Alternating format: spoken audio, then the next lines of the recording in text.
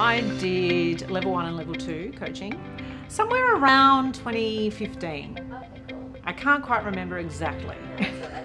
I think at the heart of it, I wanted to do coach training because I wanted to have a positive impact on people. I had grand plans of doing a master's. And so I really enjoyed that it was connected with Charles Sturt University. I enjoyed the fact that it had a really academic base to it. My favourite part of my study was undoubtedly the coaching, not so much the essay writing from the other end of the scale. I would say that I use the coaching skills in almost everything that I do. Um, I have got, uh, of course, coaching clients that I use it with. Um, would love more coaching clients, let me put it out there. and in podcasts, when I'm, you know, it's about gleaning people's stories.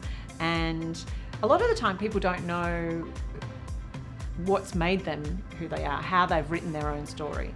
And so I've found it really valuable to understand how to sit and allow the person to explore their own answer. That's been really amazing for in every aspect of my work.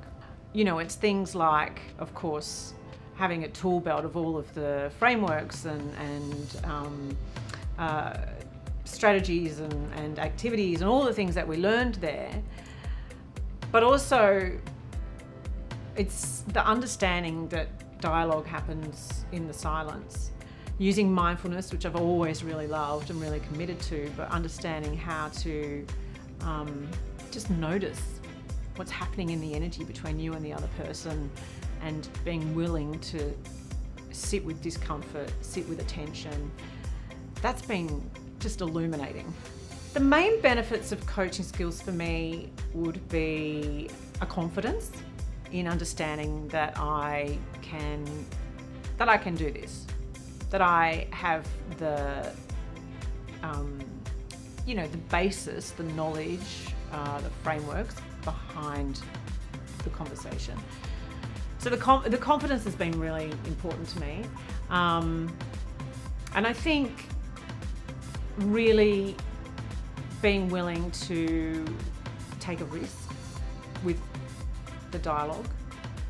Um, you know, even just like with my partner and with my daughter, she's 10, being willing to wait for her to tell me rather than fill in the sentence, which as parents we so want to do.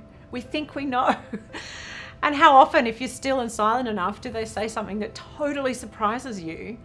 That's changed everything for me as far as my daughter is concerned. And, and even, and so in a coaching environment, the same thing happens where you are, you think you know, and you're waiting for your counterpart to answer, and they say something that just you could never have predicted. And that's what's so exciting. Because often they didn't realise either. They didn't say the words are coming out of their mouths before they even realise.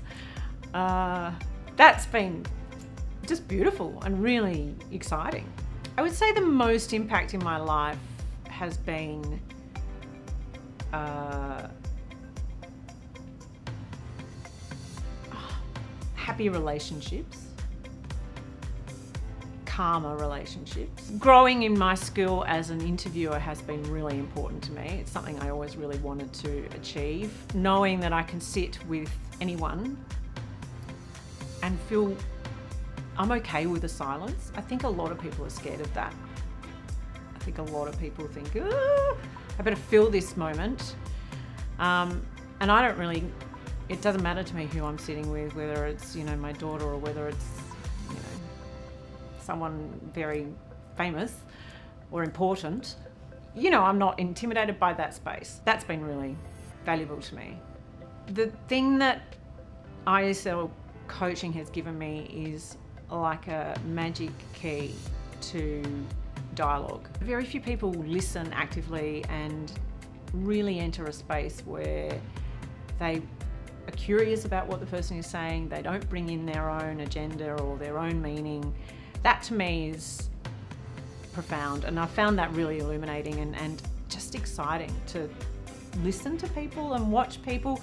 I have to remind myself to do it. I'm not suggesting that it comes naturally every time I have a conversation with someone, but I really enjoy that mindful interacting with someone and learning about them.